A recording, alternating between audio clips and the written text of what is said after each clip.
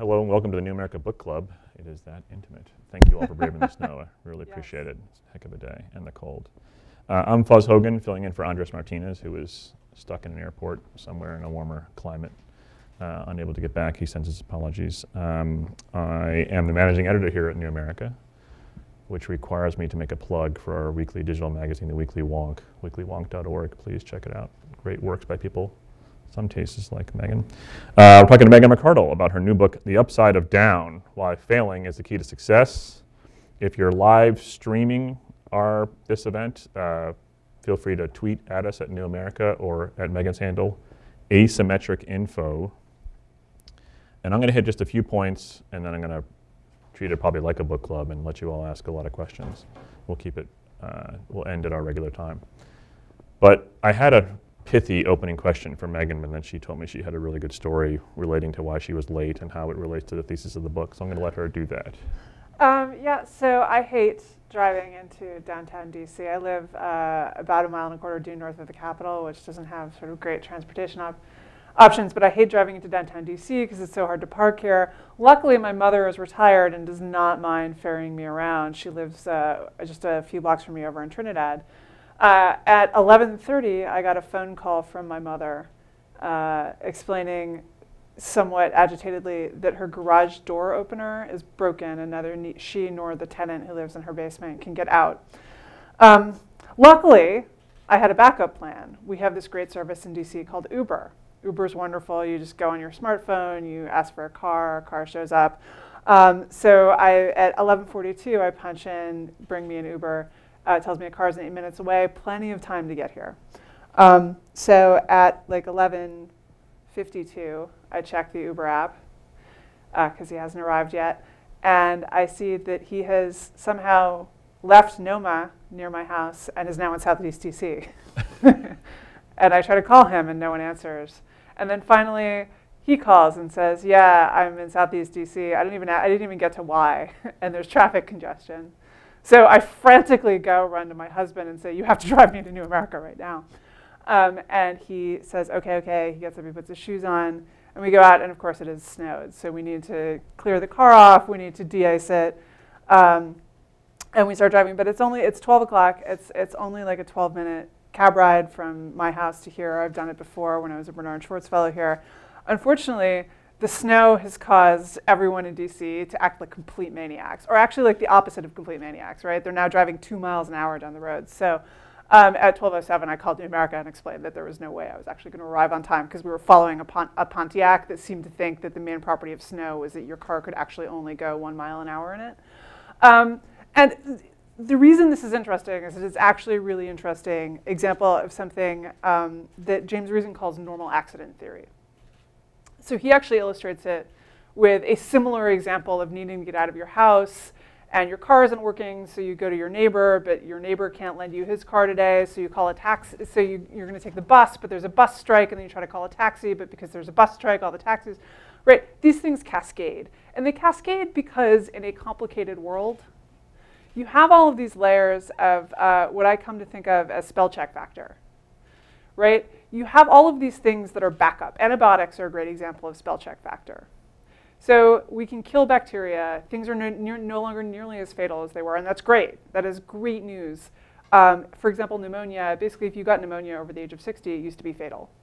They used to call it actually the old man's friend because it was a comparatively nice way to die compared to whatever else could carry you off. Um, however, now that doesn't happen, and so people, when you see cancer statistics rising and so forth, that's because we, we no longer die of pneumonia, and that's great news. But because people no longer die of pneumonia, people aren't as careful about washing their hands when they touch sick people. So we introduce more infections.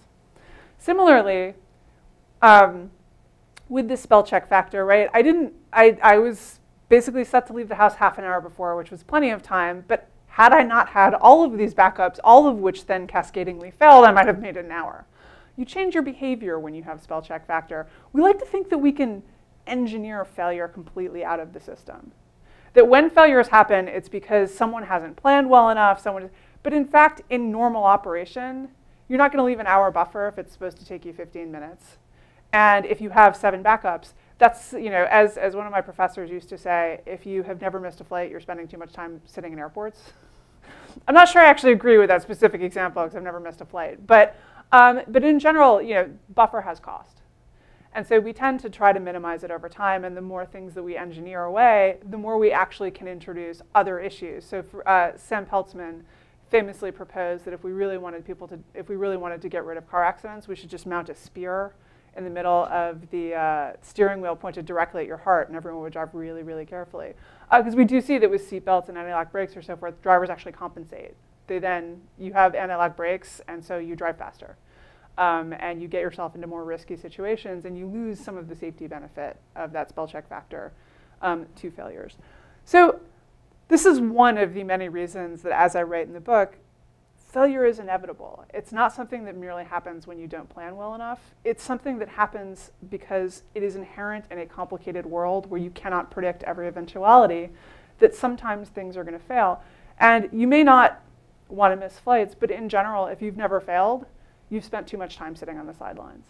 Um, and so I will close with that. Yeah, it's right. mass transit. I always often say with mass transit, if you're going to be yes. on time every time, you're going to end up being early, very most early, most of the time, because you have to for all the risk. So that's great. That's a thesis. Uh, the other moment uh, I was going to first set up is the moment when you knew you had a book, right? But keep it in Facebook post length. Um, so there were two real contributors to the book, and the first was that um, I uh, I failed my way into journalism completely. I was supposed to be a management consultant, and when that didn't work out, I, I makes us journalists feel great. we're the we're the we're the, the, the down bucket.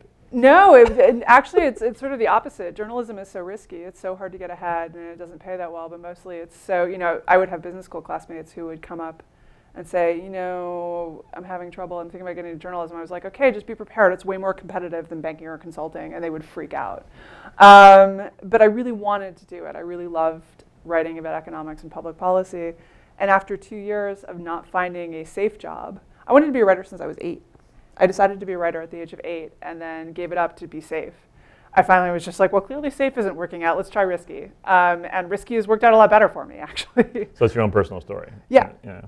Uh, last bit of setup, then I'll go to some basic points here. Uh, what's the weirdest piece of feedback you've gotten so far? Um, I don't know if it's weird. Like, you never know what book you've written right. until someone else reads it. Um, there were a couple of things where people had just clearly misremembered something that I'd written, and I was like, and I was totally puzzled and looking it up, and then I sort of found the. Uh, but the, I think the the thing that has surprised me maybe the most was that there were a number of people who were like, I was expecting 12 easy steps to fix my life, and this is not that book. And I was like, I don't think I said this was that book. Thought of it. Um, I mean, there is actually a fair amount of 12 easy steps to fix right. your life, but it's, you know, it's a mixture of, of research and, and sort of reporting and memoir. Um, and it's a meditation on failure, in part because the, the surprising thing to me about writing this was actually how effective just stating that failure is not only an option, but definitely going to happen. It's almost like a marketing treatise for failure. Like failure's okay, yes. folks. Don't. Well, right. but just that how changing the way you think about it, right. and like not with some series of really advanced exercises, but merely just saying, oh right, yeah, no, of course I'm going to fail. That's going to happen actually really, really does change both your willingness to take risks and how well you're able to handle them after they happen. All right, so a few big points. Uh, one, how do we distinguish mistakes, like garden variety mistakes, from failure? How do I know if right. I made a heroic failure I should learn from or I'm just a screw up? So th the difference between a mistake and a failure is the outcome. And I think that we often, we should focus more on mistakes and less on, on, on failure. We should look more at the process and less on the outcome. And washing your hands is a really good example. You know, sometimes in a hospital, a doctor can do everything right and the patient will die just because they're really sick, right? And we're not, no one, I, I hate to tell you this, but no one here is going to live forever. Apologies. Um, so sometimes a doctor can do everything right and someone will die, and sometimes they can do everything wrong and the patient will live. Um, and actually, so in the book, I actually chronicle watching series of mistakes after mistake being made on my mother, whose appendix had burst, which is a, not a big deal when you're 20, but is really a big deal when you're 70. Um, and it didn't matter because the antibiotics that they pumped into her saved her.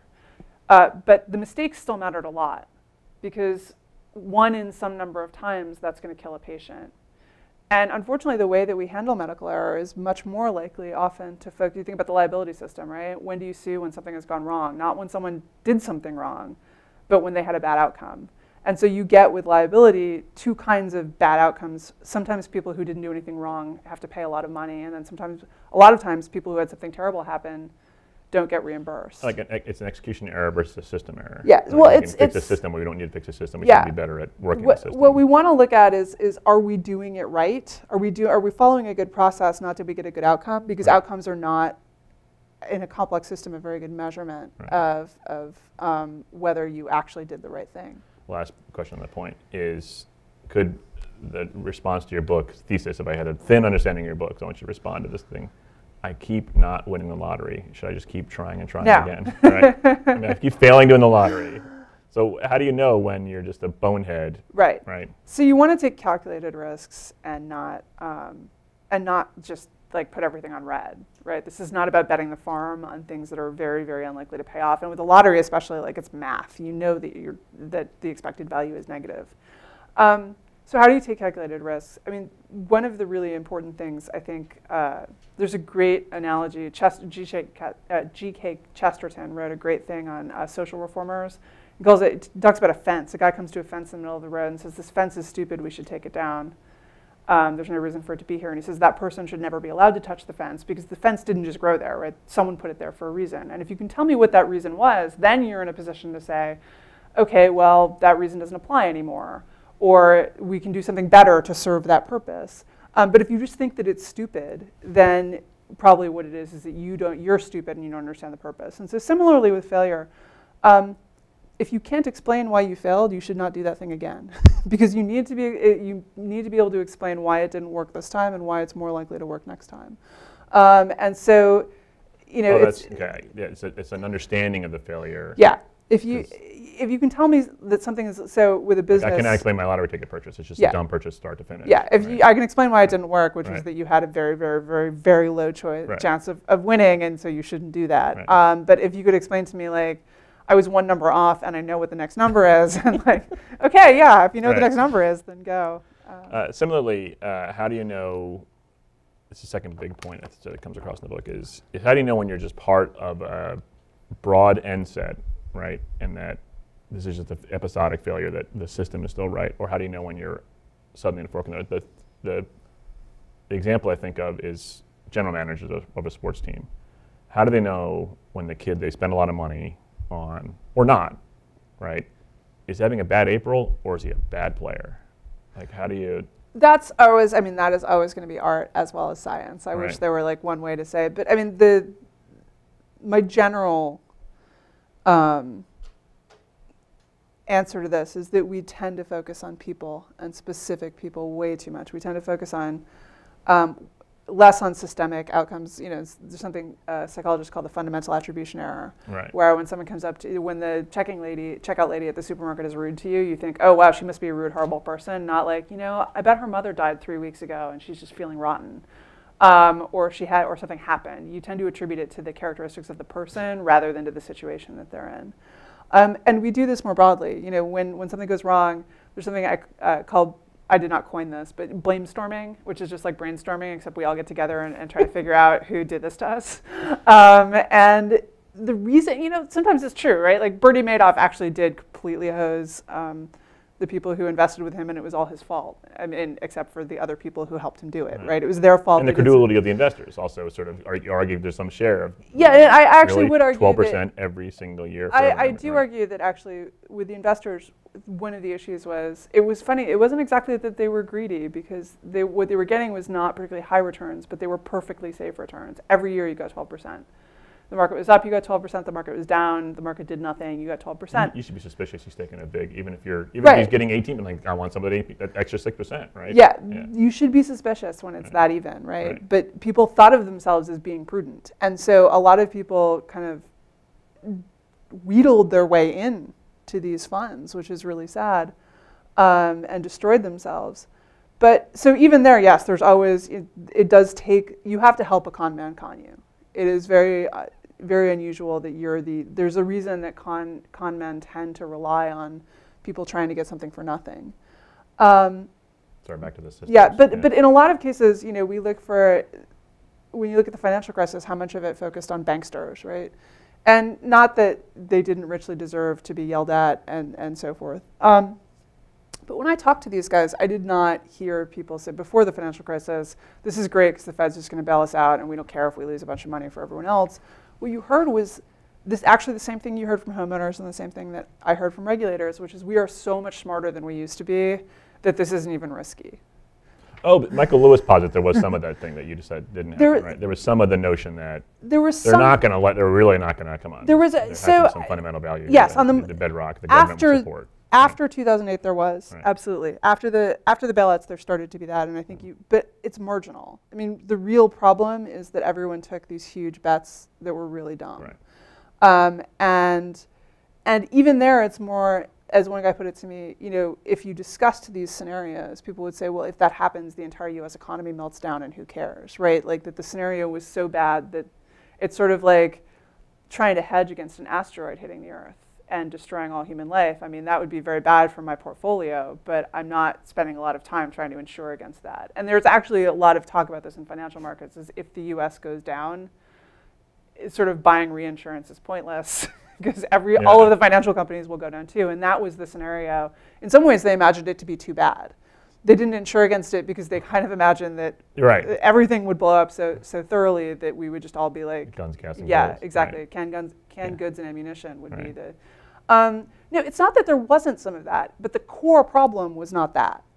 The core problem was total stupidity. Total stupidity on the part of the Fed and the SEC and all these other guys who, not because they were misled by deregulators, because they really thought they were geniuses. There was a whole theory called the Great Moderation that like whole academic careers were built on, and this was the theory that it was not possible to have a financial crisis anymore of any note. That inflation was low, that you know recessions were very compared to earlier ones were very moderate, um, and that this reflected genius on the part of the regulators. That our economic theory and our computers and the regulations were so much better that it wasn't. So you would talk to bankers about the housing crisis, about the housing bubble, and they would say, yes, this could go bad, but that would take a sustained nationwide decline in housing prices, and that hasn't happened since the Great Depression. And behind that was kind of this implicit assumption that the Great Depression was off the table.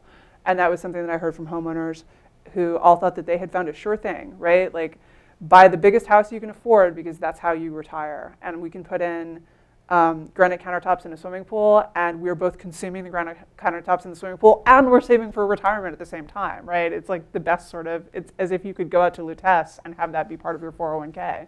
Um, So to learn from that failure is to learn is a systemic. Yeah, it's Not- to don't think just of it blame the bank. We could blame the bankers. Yeah, as well. like, it's, it's really not. Yeah, both, it's not right. not blaming the bankers. It's saying that the actual big problems were systemic. That the problem was in the market. It was not Right. in the individual banks or in the bankers. And the way that we know that is so much failed at once. We've had banks that went down before. We had we've had Drexel. We've had right. If it had only been one, then you would blame the bankers Right. But it was like everyone in the yeah. And also in the rest of the world. I mean, people who talk about well, it was U.S. deregulation. Well, then how did Spain have a housing bubble and all of these bank crashes? How are German banks in trouble? How are like um, it's much bigger than any of this, um, and so it, it isn't that you aren't going to find individual villains, but if you make that the focus, if we think this is primarily about individual people who, th- who did things that they knew they shouldn't have done, then you don't look to the systemic risk, you don't look to the systemic cognitive biases, you don't look to all of these issues that they're still there, right? You don't fix them because we found the villains and we, we took care of them and they're bad, right? Or we didn't and all we need to do is take care of them and they're bad.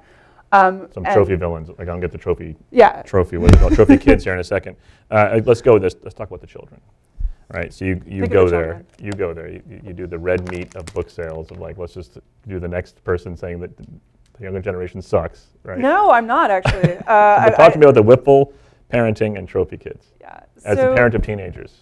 so Um, I think the metaphor for, for parenting now is the, the disappearance of the high monkey bars from playgrounds. Like when I was a kid, monkey bars were at least seven feet tall, which I know because they were above my dad's head, and my dad is six foot seven.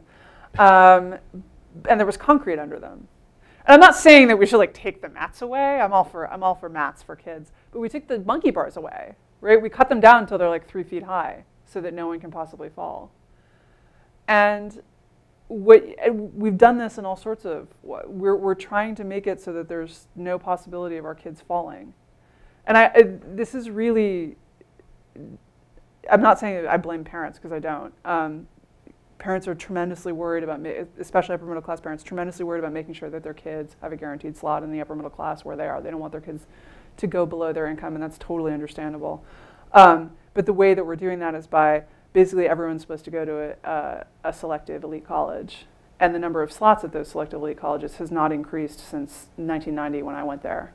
And the demand Um, for them is, Demand for them has expanded a lot. which is a good story because the middle class and other countries are coming to our schools. So there's part of the part of it, yeah. sort of walk people are right? moving Yeah. around more. Right. It used to like you know my mother who was super smart and got recruited by Radcliffe but knew nothing about college went to Bucknell because it looked it was nearer where she grew up and it Yeah. looked like it was rolling hills. Right? trust she didn't know to 17 year olds, right? Well, my grandparents didn't know. My grandfather owned a gas station, Right. right? That was, um, and so now there's much more of knowledge about it. You don't just tend to go somewhere that's near your house. You tend to go to somewhere that is, you know, suited to your needs and so forth. But the end result is that you have more and more kids trying to be crammed through the same size funnel.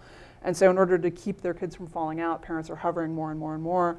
And what you're hearing is, and I really thought that this was lies, frankly. I thought that people were just making these urban legends, but I've actually spoken to people who have been in interviews for the police force when a parent showed up, a mother showed up with her son and wanted to be there at the interview.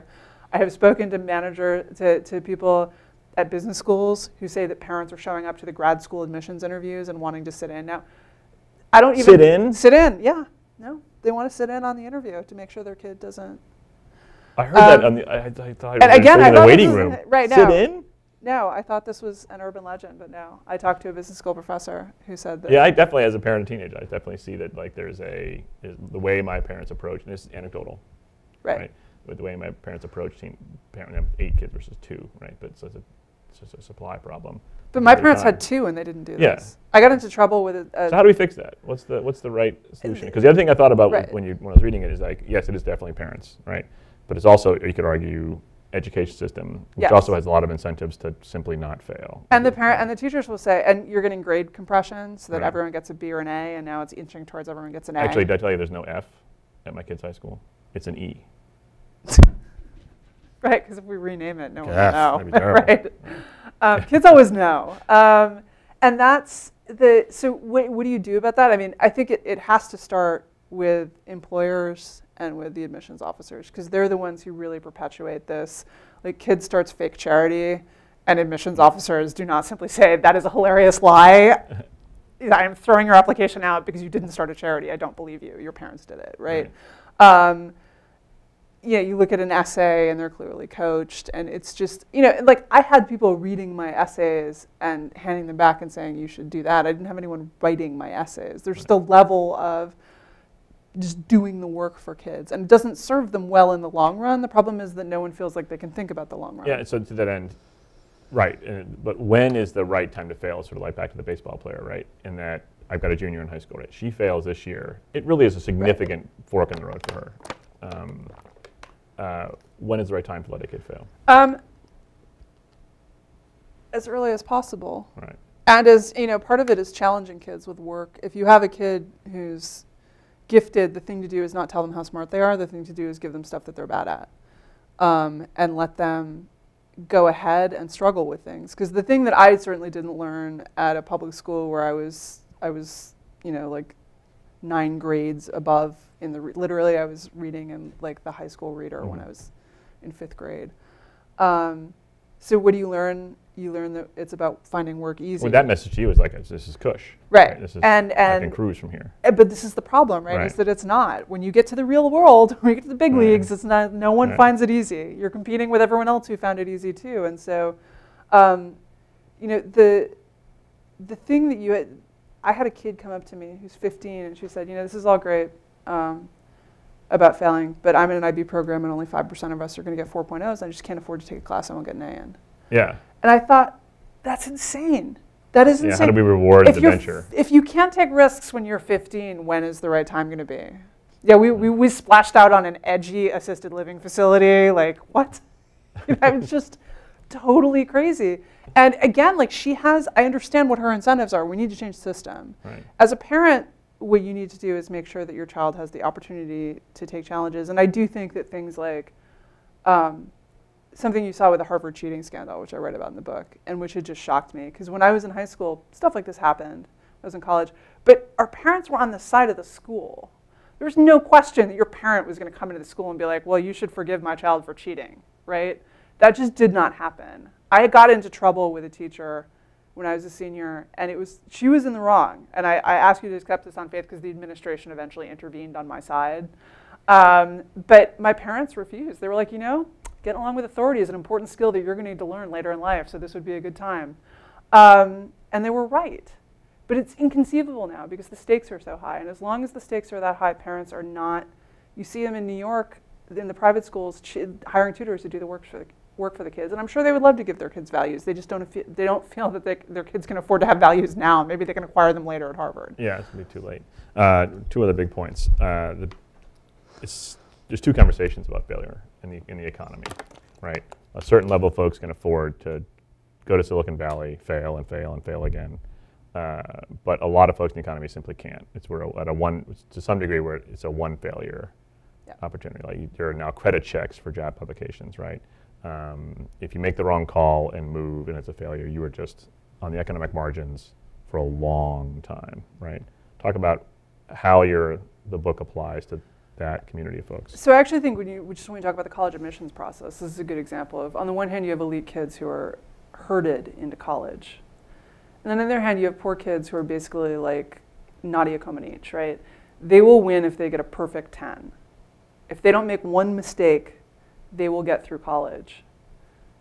But if they make any mistakes, there's no one there to catch them. And this is a little less true at some of the elite schools, which are really. Although really Jason DeParle's piece about the kids from right, right, the kid made one mistake. She made one sort of about good. What yeah. she was a little scared about something, didn't want to talk about her parents, and poof, she was gone from yeah, memory. They, or she was trying to help her. Right, or right. they they uh, you know they have a relative who needs help and they don't right. understand what it's going to mean if they drop out, and all of these things. There's no one there to tell them. There's no one there giving them all the, this pushing and social capital the middle class kids just have. Even if your parents don't have money, even if they have problems, you just know because of sort of the environment you're in, your so friends' What's the message parents. here for them? Um, I think that the message the first message is look, we have to change the system. It really is. This has become completely insane the ways in which, and I think that is generally more true um, for poor kids, poor workers, than it has been in a long time. I actually don't think the credit checks are as big a problem as people think, because employers do tend to understand. Like what they're looking for is, are you having current, ongoing money problems that are going to incent yeah. you to steal from the till? But if you if you lost your house to a short sale, they actually are. Uh, it's less dire than people think on that front, but it's more dire just in that what we're what we're really doing is eliminating the ladder, this credentialism. Right is making it, you know, my grandfather worked as a grocery boy until he was 26 and became a successful small businessman. When I was in IT, we had like some of the best people who were IT consultants were just random. The best guy I knew was a, uh, a, a, religious studies major. Yeah, Google was pulled out. It used to be right. just like eight years ago. If you, you had to have, you, they were looking for your high school yeah. high school transcript, your GPA, your SAT scores, your total. I looked at your college transcript. Whereas like one guy, one guy who was one of our best guys on, on Cisco routers and, and that sort of equipment, he'd been a porter at one of the buildings that my company consulted in, and they had eventually hired him to run cable. Because as, as one of my bosses said, if you want to run cable for the first six months, all you need to do is breathe and carry a tool bag. Um, and he worked his way up. And those things, even in IT, which was very, when I was in the 90s, was very much like that. Just all these random people who had been like the air conditioning repair guy at an office and had somehow ended up running their network. There was a ton of that around, and a lot of those people were great and were closing in industry after industry. You see this closing down, closing down. Um, because of the computer sorting of resumes, it's just easier to select for degrees. So, so that, that, that's still my libertarian friend. Right. That's the. Uh, I don't have a regulatory solution for this because the government's also even worse about like right. I, I, talk about talk about the, right exactly. That that go there, but the, on this one point, right, so the risk of that the, the you could argue that this credentialing is a natural reaction of the elite to make sure that they don't leave the elite because they're the only ones who can afford the credential. Uh, right? Uh, I think that that is definitely part of it. Um, I do. I mean, I think right. that the like, and I think it may work from the other end. Is like if everyone now has a BA and you look around the job market, your kid's having trouble advancing, you encourage them to go to grad school, maybe you help finance their right. going to grad school, and then suddenly all the elite kids have grad degrees. And right, the inflation of degrees, right. right. It's the degree inflation. but you Um, push that not elite kid even farther and farther out. Yeah, exactly. the College degree is farther enough away. Heck, I, I can't get a master's degree. No way. Yeah, and I, I think that this, I think that the system's completely insane. How do you handle it? But I don't think that there's no opportunity at the bottom. There are amazing stories of people who start with very little and just hustle. Um, it's just harder, and it's getting harder. The capital requirements are getting higher, and so forth. So how do you do it? I mean, the the the first thing, and I, I talk about this in the labor market chapter. Um, you know, like how you do job search matters, but it doesn't matter as much as um, just doing it and just being out there. And it's terrible because when you do job search, you're basically saying, "Hey, do you want to reject me?" And people are like, "Yes, I would love to reject you." Right? Most people say no. Most people stop with the first job. Well, that's the get. NSET. That, that's a that's a positive NSET feature, right? Right. You just keep putting yourself out there. Sooner or later, something. good will Sooner or later, it's a lot. It's a numbers game. It's like dating. Right. You know, you, you well, I mean, you look at Yeah. you look at people who are dating kind of out of their league, and all of them are basically the same way, which is they just ask so many people out Right. that eventually Sooner or later. someone who's kind of above the average says yes, and then they stick with that person. Wow. Um, it really is like a lot of this stuff really is a numbers game. The problem is that it's really, really difficult. I mean, like, That's what I haven't mean. you found what that I, want to meet that kid who's got the chutzpah. He's like just keeps going. I, I'm a, I, I'm, I'm, this is anecdotal. I've not actually, I don't think there is any actual research on this. This is my observation is in the rare cases where I meet someone who's just clearly like, um, you know, dating someone who is way more attractive than they are. Uh, it is usually because that is someone who just, and is not fantastically wealthy and flying them around. and the inverse is probably true. The, the the person above their league just hasn't put themselves out there, and so Right. And the- like a lot of it really is just being willing to consistently risk rejection and try something even at the risk of failure and that is true at the bottom at the top the, you know, the thing that you have to do then is plan so that it's not an unrecoverable failure right like crime is not a good risk right. it's uh, you may get very wealthy but the, the downside is large and it's almost impossible to recover from Two more tough points on that is the is the story of Tyson's, which is sort of big here in New America because Chris Leonard just wrote his big book, The Meat Racket, about how Tyson's has vertically integrated itself as a essentially a monopoly, behaving like that, and has insulated itself from risk of failure at the expense of the farmer. Right. The the, Right. the, the pain as, as us on us as eaters is sort of he argues is, is higher prices, but it's a little more diluted than it is clear to the person who owns a chicken farm that the risk of failure is, is now on them and not how do you solve that problem and how, and how do you t- message to the farmer that this is somehow part of the game part of the Well. I mean, you see farmers solving that problem by going outside of the Tyson system, right? Right. I mean, I, I buy my meat from, uh, or a lot of my meat, not all of my meat, but we subscribe to a meat CSA, right and it is a little pricier, but the meat's way better. Um, and the farmers who are in it are much more. I mean, farming has always been really risky. I come from a, a long line of farmers, almost all of whom are out of it now right because they can't use it's the capital investment is huge and the risk is always on the farmer because it's about weather and Okay. all of that sort of thing. Um, but the big food processors have made it tougher in a lot of ways. And they've, they've taken a lot of the joy out of farming as well. Is like it's much more like being a cog in an industrial machine than it Yeah. is about.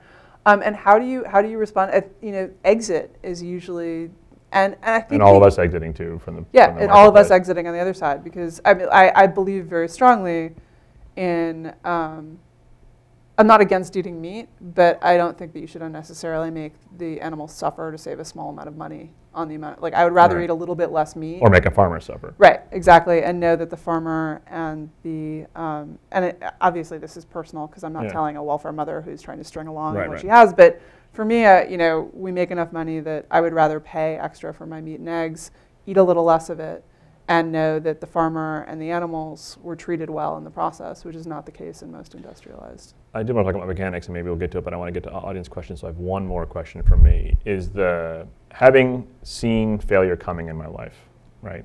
It's March of year X, and I know December is the precipice. The funding for this project will run out.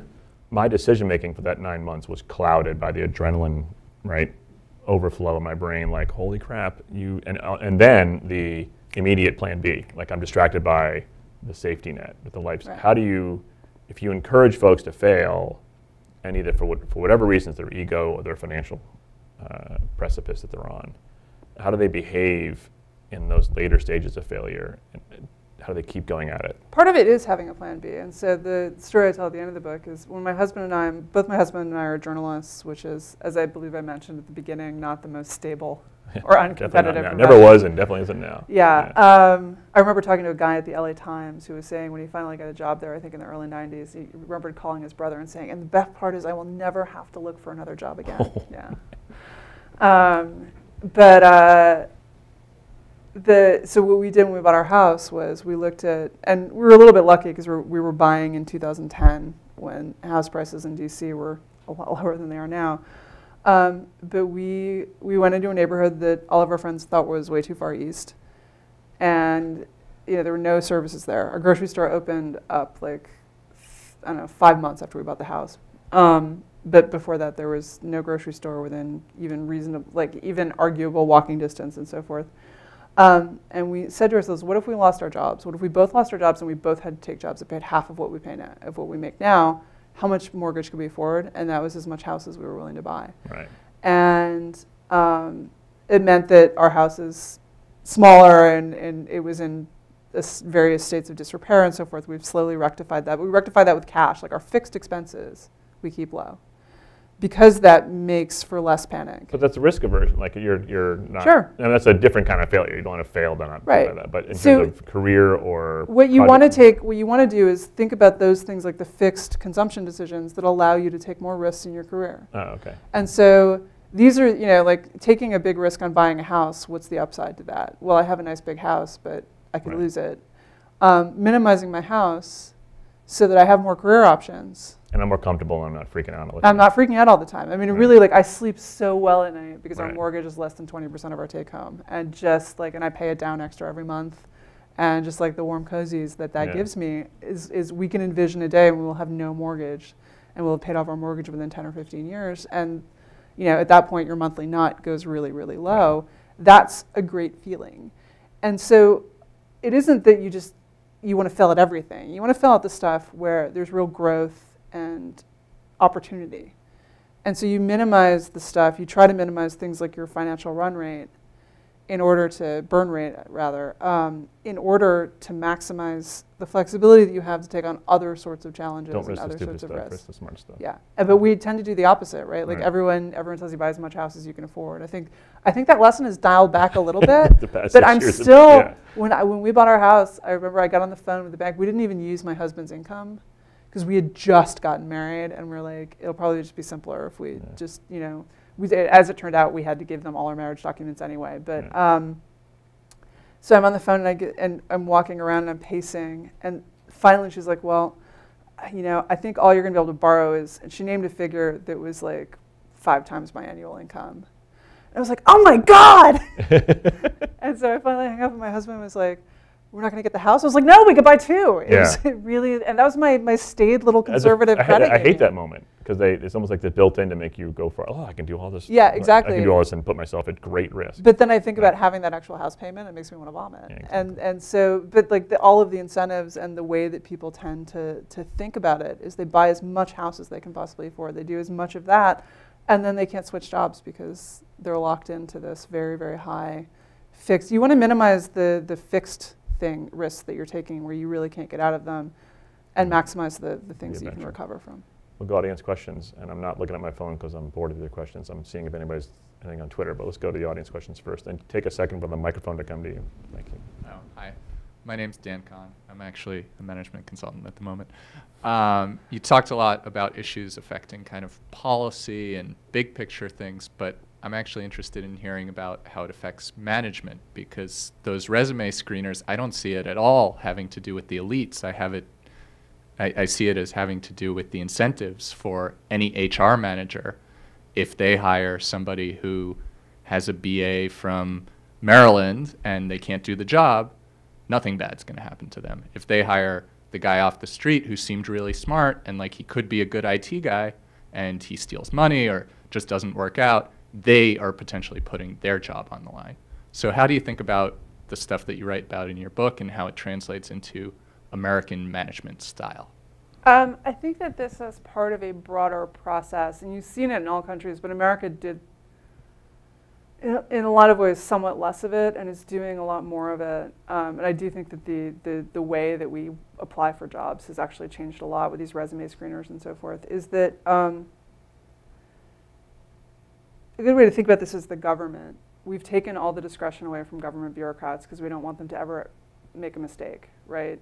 We can't fire them, so since we have no way to punish them for doing anything wrong, instead we just make sure they can't do anything wrong, and we hamstring them so thoroughly that when I, I was talking to a guy who went to be a, a, a state official in the South, and he had been a banker before, so his first day, he's pretty senior. He says, "Okay, well," he tells the secretary, "Okay, get some sandwiches. We're going to sit down in the lunchroom and talk to the team." She's like, "Oh no, we can't do that. We can't buy sandwiches on on, on the government dime." unless they're having overtime. Like that's insane, right? The odds that, that government employees are going to get away with surplus sandwiches, we spend more time pursuing this. It would be cheaper just to buy the damn sandwiches, even if they were profligately eating sandwiches all the time. Um, and there's a similar thing in, in companies now.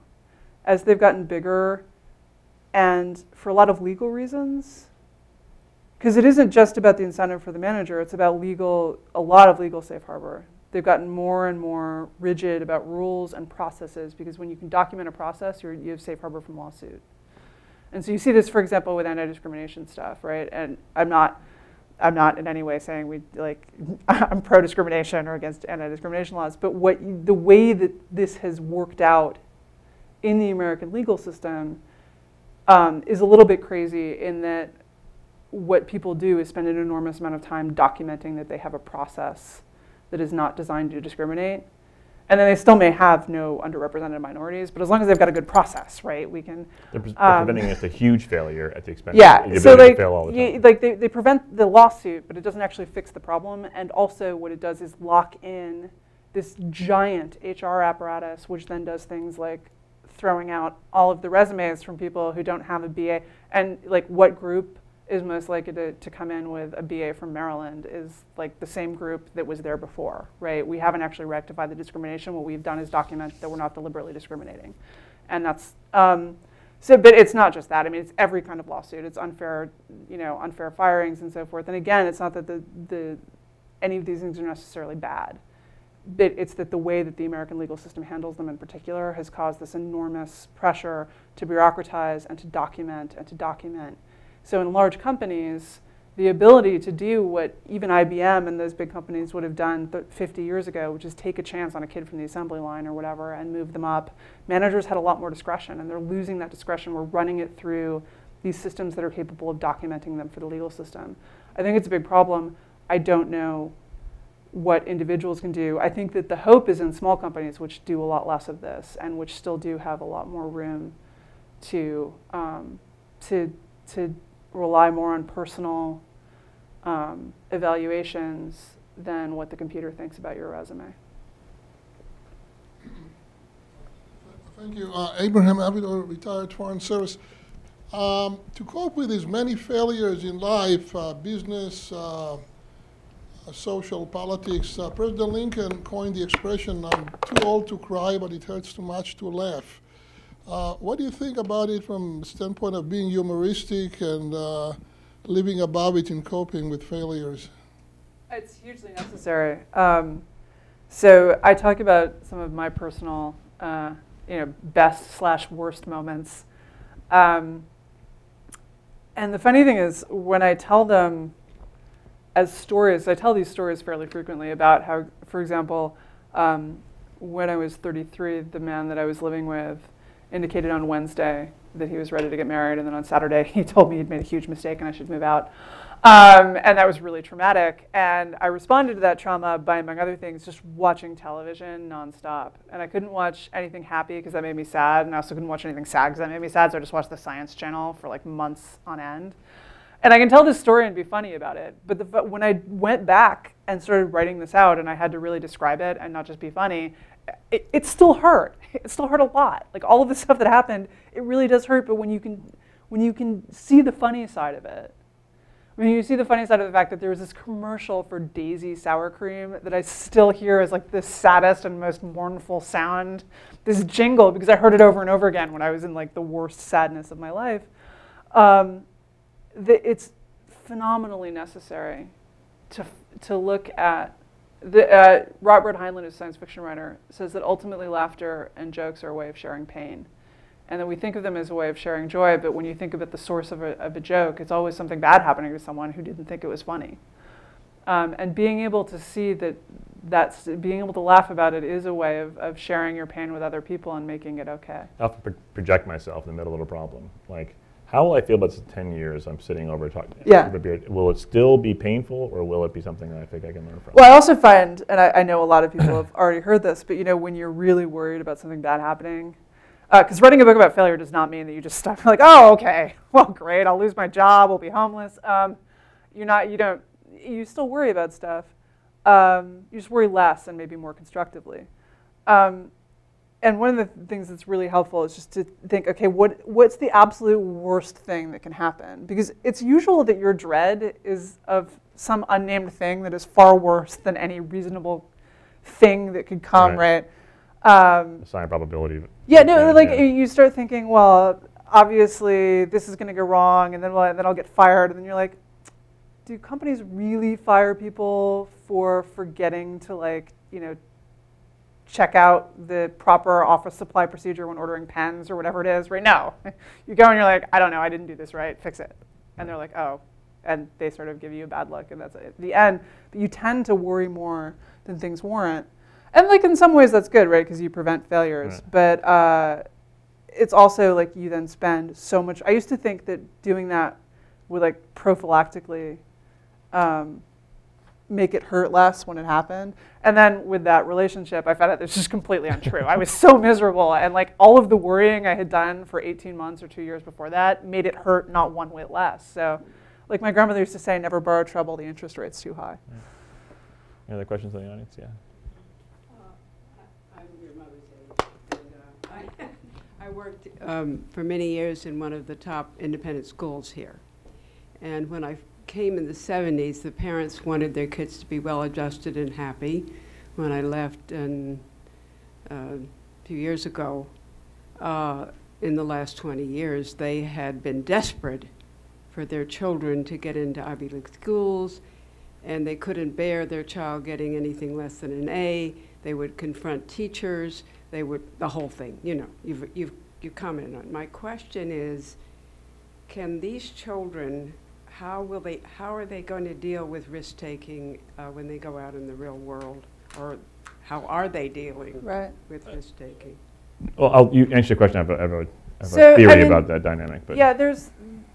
I do think I was really skeptical when people started talking about trophy kids because in general, right, like people my age have been complaining about how the kids these days are no good. and they did for the time. boomers, and they did for the anarchists. Right. They've always done Um, the and in fact, I think my observation, my personal observation of millennials, they work a lot harder than my generation did. We were properly known as the slacker generation. That's the Um, pain, to, to the point. I, I have this like, sad experience of watching my daughter work about as hard as I did, and her opportunity for the elite schools is right. is not there. Just even like I, I, I nearly flunked out of high school and Yeah. then uh, got into an Ivy League school and nearly flunked out of that. I mean, I did eventually get my life Right. together, uh, but then I got into I got into Chicago on, with a 2.93 GPA from Penn, which would have just been inconceivable now.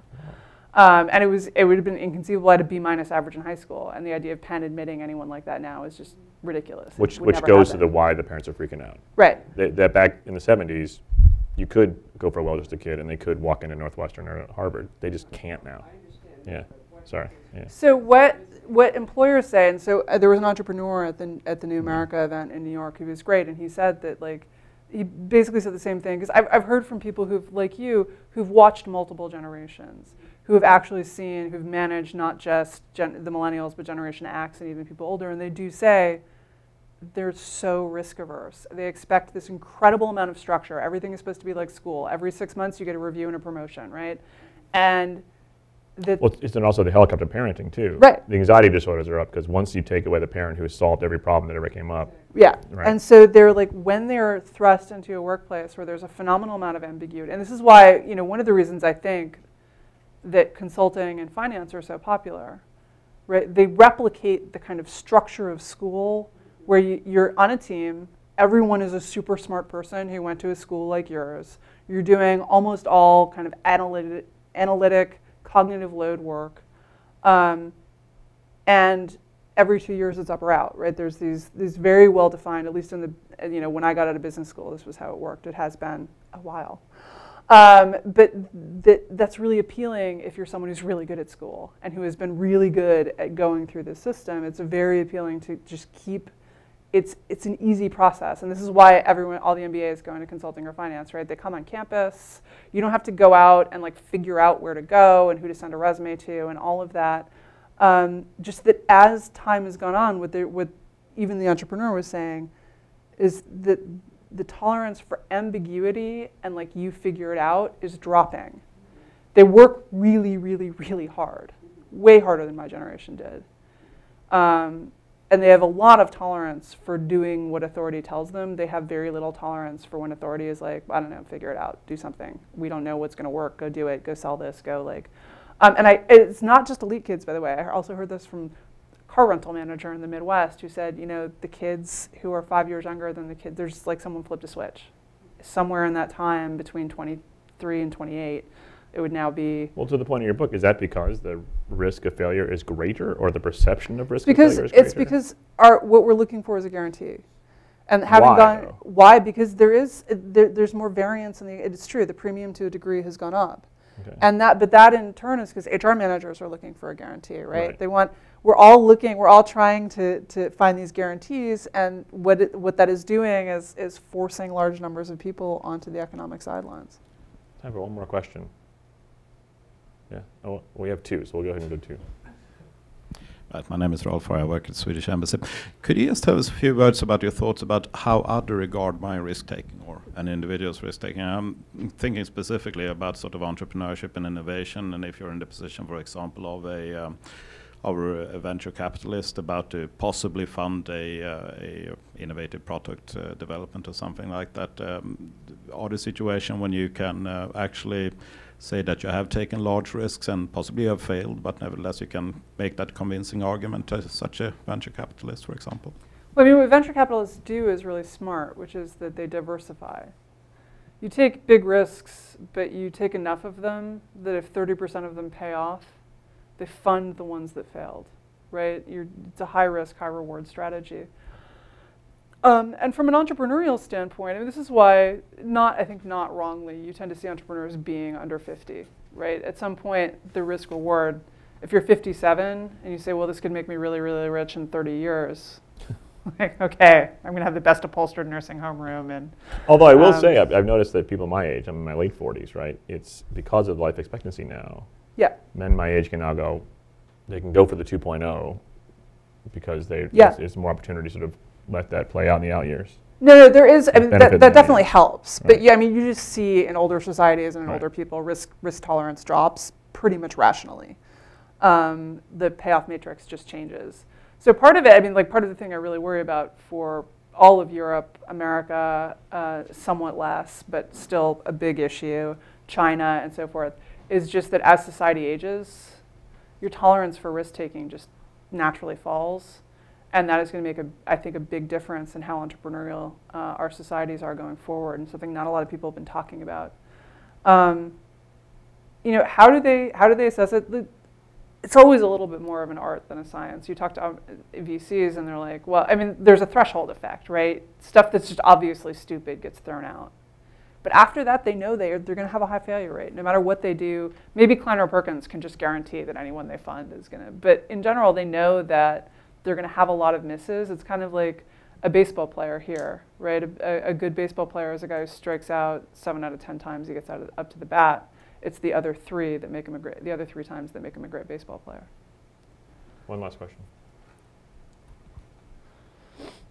What implications um, does this have for policymakers? Are there circumstances where you could see government even promoting or encouraging risk to the point of failure, or the uh, implications on the safety net? What do you recommend? Uh, I talk a lot about that because I'm, you know, I'm fundamentally a policy writer. Uh, so one thing I think America's really good at and uh, really undervalued is bankruptcy.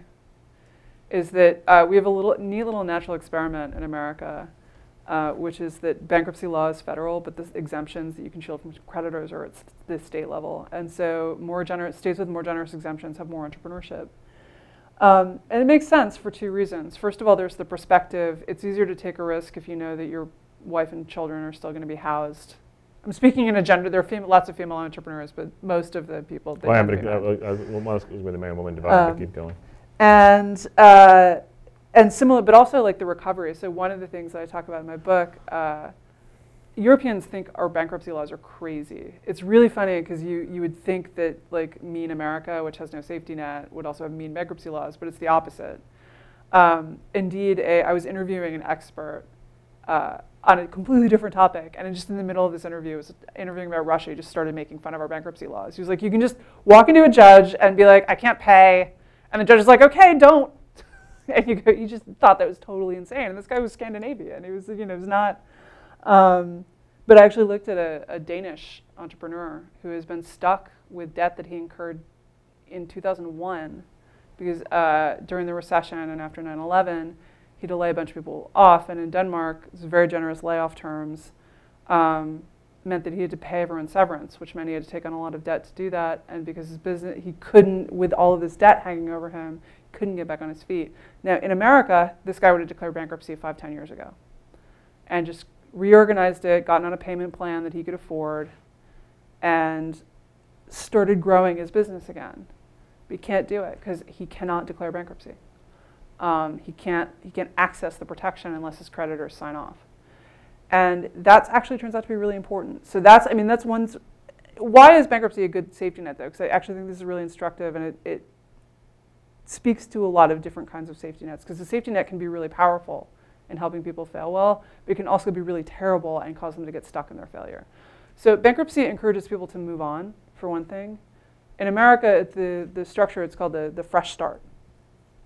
So um, the idea is that unlike other places where bankruptcy is mostly about the creditors, and this is changing, people have looked at our, our very debtor friendly laws and are moving in that direction in both corporate reorganization and, and personal bankruptcy, which I think is a great sign. Uh, sadly, we have decided, we in 2005 decided to move in the other direction for reasons that I'm still.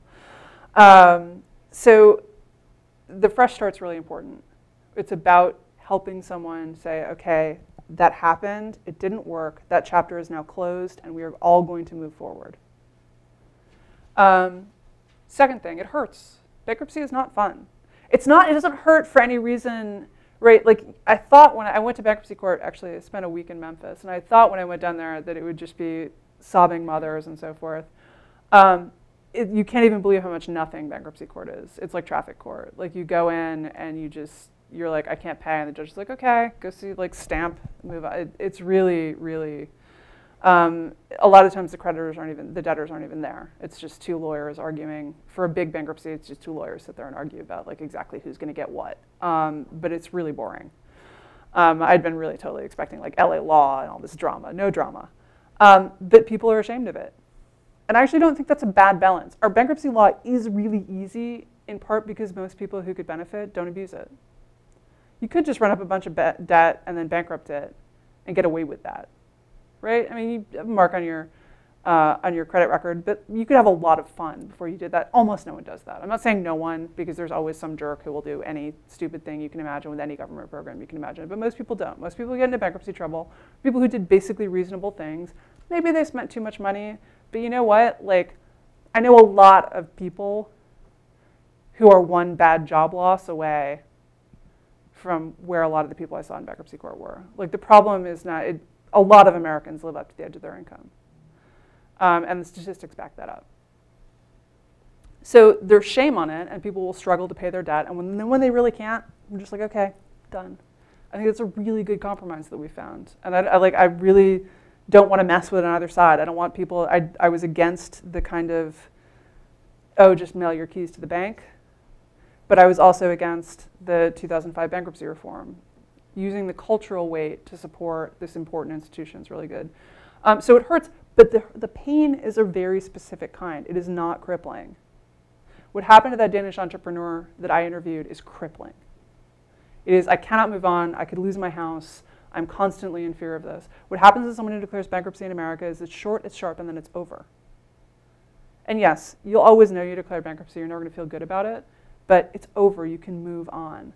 Uh, so Dave Ramsey is a great example. Evangelical personal finance guru, one of the most successful talk radio programs in the country, declared bankruptcy, and now makes his living telling people how not to do this by doing, minimizing their debt and so forth. Um, and he paid all that money back, and he tells people to stay out of bankruptcy, and I think he's right about that. You shouldn't declare unless you have to. Um, But also, bankruptcy was what enabled him to get enough breathing room, right? So he was also against the 2005 bankruptcy reform. It's that, like, it's the balance of, on the personal side, try to stay out of it, but on the institutional side, once it's happened, we say, okay, move on. Because the payment plans don't work that often. So Memphis is the bankruptcy capital of the world, uh, which we know because the US is the bankruptcy capital of the world, and Memphis is our bankruptcy capital. Like 1% of people in Memphis declare bankruptcy every year. But a lot of the reason for that is they're on payment plans, and the payment plans just keep failing and they keep refiling. And the creditors are happy with that, actually, by the way. So I asked about that because they were supposed to have been banned in 2005, and the judge was like, no one's complaining. Creditors are very happy to have them in a payment plan and not have to be chasing them down and garnishing their wages. Um, but these, these, the payment plans just tend to fail. They're very hard to stay on. Whereas when you've got it over and you can move on, you have clarity. And predictability and clarity are really good places to be when you're starting over. Um, and so I think about this with like, I know I know it's been really long, so I'm gonna, but think about this with unemployment. So bad unemployment policy, uh, something like you used to see in a lot of European countries, see in some still. Uh, you were a steel worker, your steel plant closed, okay, I'm gonna pay 90% of your wages, well you just look for another job as a steel worker. Now, having been long-term unemployed, I'm very sympathetic with that steel worker. He's probably facing a reduction in wages. He's accumulated a lot of human capital doing what he did. He might have to take a job he doesn't like as much, et cetera, et cetera. Also, job search is really painful, but you're enabling that person to make a, a, good, a rational short-term decision that is a very bad long-term decision because what we know from studies, again, of Europe with high replacement rates is that unemployed people are not happy. They're socially disconnected. They're disconnected from the labor market. It's a permanent, you are unhappy as long as you don't have a job. So by helping someone to not look for work and to scar, what they call labor scarring, which is the longer you've been out of work, the harder it is to get someone to employ you at anything, um, you're helping them to make a bad decision. So you shouldn't have a policy like that. On the other hand, look at something like Denmark, which says, okay, we're going to have a high replacement rate, but you have to be training for something else. We're not going to have a high replacement rate while you try to be a steel worker. That's one way you could go.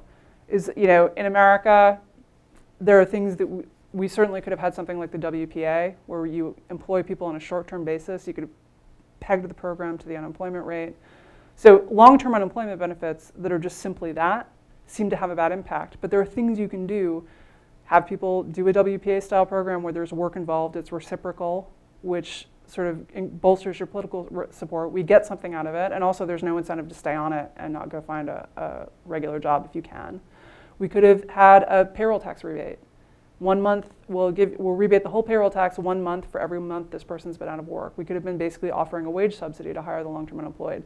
What we should think about is not just making unemployment not hurt, but making the pain not catastrophic and making it about, okay, how do we move on as quickly as possible? How do we get back into the labor market, stay connected to the labor market, instead of paying people to stay out of it? And we tend to cast it instead of this moral hazard play of either people are these helpless victims who we need to make whole, or people are terrible abusers who are just going to like stay on unemployment because they love not working. And again, there are people like that. I have met them, but they're not the majority. The majority are people who are struggling with something really difficult. We should be focusing on how do we help them to make better decisions, to keep them focused on the future and connected to the labor market. And we didn't do that, and I think it was a big missed opportunity. One last one. Does Obamacare help people take more risks by leaving jobs they shouldn't be in because they're worried about insurance. The I know job how- I lock- know how you yeah. feel about the ACA, so I want to make sure I get the job lock, I'm really interested in this. I can't wait to see it because this year we're going to get data. If job lock is a big problem, then Yeah. in 2014, we should see a massive, massive noticeable increase Right. in entrepreneurship. We don't know, like, there's a little bit, the economy's re- improving, so it's going to be a little hard to tease out, but I think that we should see that. Um, there's a few reasons to be skeptical. The first is that if you have a real problem that makes it hard to get health insurance, that also tends to make you not want to leave your job. So if you have a special needs kid, Right. right? I'm thinking more about I don't want to leave insurance, period. Without, uh, Right. yeah, But if I, you have a special needs kid, right? right, I'm worried about being an entrepreneur because, yeah. right? That's well, if you have a special needs kid, probably also needs a lot of money for ancillary stuff that insurance Right. doesn't cover. Can I really afford to leave my job? Can I afford to leave my job where they understand that sometimes I just got to leave work in the middle of the day? Like Right. all of that stuff. Entrepreneurs work, you know, 18 hours a day. Right.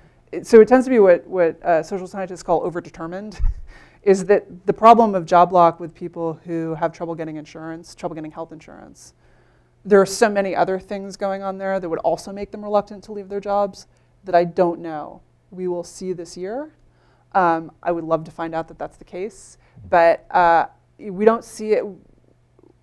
One thing that makes me skeptical is that countries with more generous social safety nets in general do not have higher rates of entrepreneurship than the US, which is what I would expect to see if that were a real factor.